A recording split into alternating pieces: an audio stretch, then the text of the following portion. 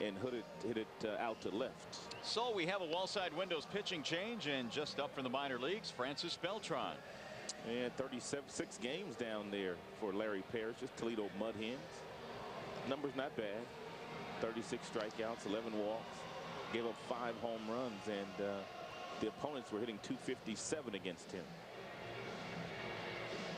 So Beltran continues to warm up and the situation here is the Blue Jays are batting in the seventh. There is one out with runners at first and second. Scutaro is the runner at second base and David Eckstein is the runner at first. Scutaro reaching on an error by Santiago and then Eckstein singled for his third hit of the night.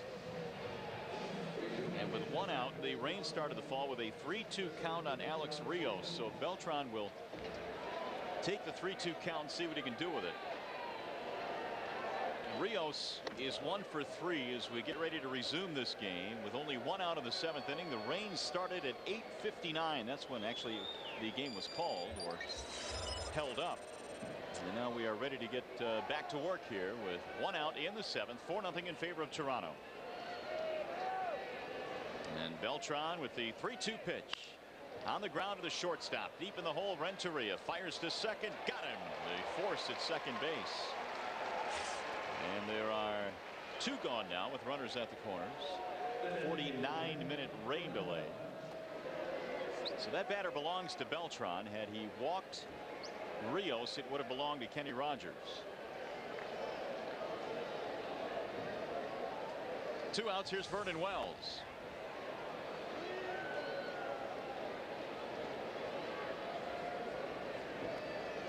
Vernon's grand slam was his 10th home run of the season and his fifth hit in the series. And Blue Jays lineup totally different uh, with Vernon Wells sitting right in the middle of it.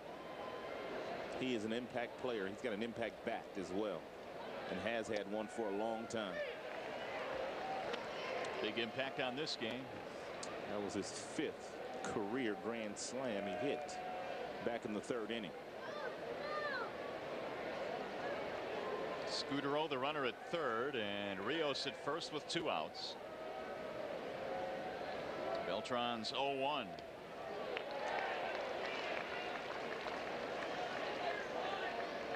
Francis Beltran has had big league time with the Cubs in 02 and 04 and also with the Expos in 04.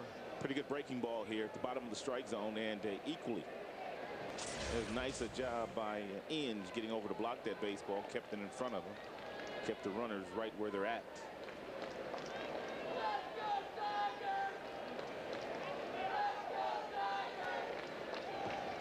Oh 2 on Vernon Wells.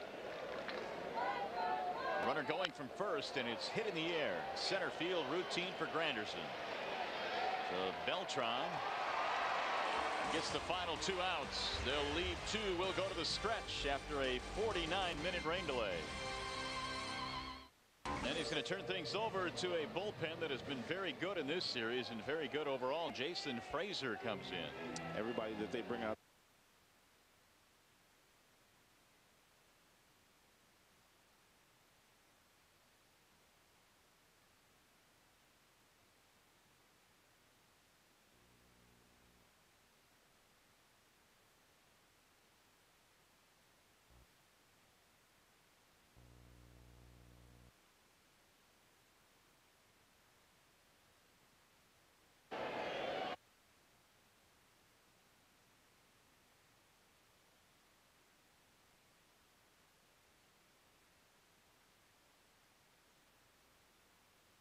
A's not bad with runners in scoring position in this series. They've gotten it done 9 for 22. And as a result they not only have won the first two games they lead here tonight and Beltran back to work.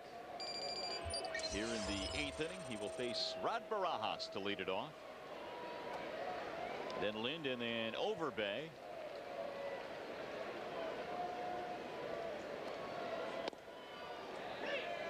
No balls one strike on Barajas who is 0 for 3.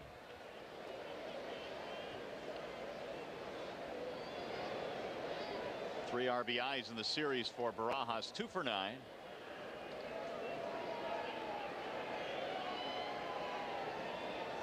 Beltran's 0 1 fouled away. Saw Beltran pitch uh, quite a few times in spring training. And spent uh, all year in the minor leagues up until now. He's a big boy. Huge. He got a pretty good fastball as well. 93, 94. We saw a pretty good slider as well. He threw to Vernon Wells, a couple of them to get ahead of him. He is 6'6", 257. That's what the media guide says. Looks like he throws a split-fingered fastball as well. At least that's the grip that he has right now. Then he takes it and puts it in his glove. Sometimes he changes it. Sometimes he doesn't. That could have been it right there.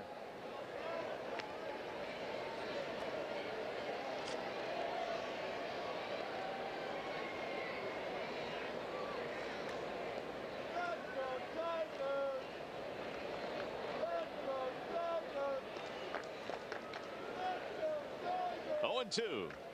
The particulars on Mr. Beltran. And that is fouled back out of play. 0 2 the count stays.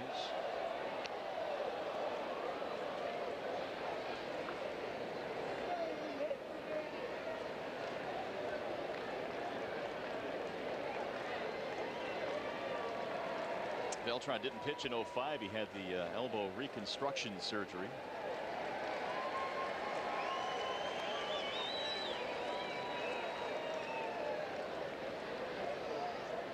And again the 0-2. Ground ball deep behind the bag at third. Santiago shoots him down one away. Showed you Todd Jones there moments ago and uh, he said that uh, he's going to be ready to go on Friday for a simulated game today. Take a look at our Belle Tire pitch by pitch and how he goes after Barajas, who's having a pretty good series. Gets ahead of him with the first pitch fastball, comes back another fastball, and then he throws him something at the bottom of the strike zone and a breaking ball that he fouls off. And if you're in right now after Barajas fouled off the 0-2 breaking ball, you're thinking that he's looking breaking ball. They came back inside with a good fastball and jammed him for the ground out to third base. Here's Adam Lind with one out. Beltran has retired all three batters that he has faced. He was uh, going up against Rios with a 3-2 count after the uh, rain delay, and he got him. And then Wells and now Barajas. And Todd Jones is uh, eligible to come off the disabled list here soon, isn't he? Friday, I think they said. Yep. Two balls and no strikes.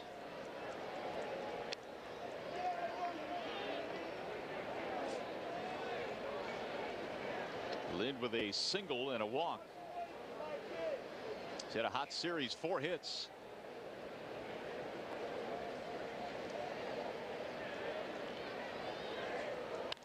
And that's fouled back out of play. Two and one. And for a Blue Jays team that, that uh, supposedly came in struggling with the bats, uh, they have found a way to score some runs in this inning, in this series, I should say. Taking the first two. New hitting coach Gene Tenace, who Cito Gaston called after Cito got the job. It's tipped into the glove for strike two. Two and two to count. And they were in Toronto together as well in the 90s.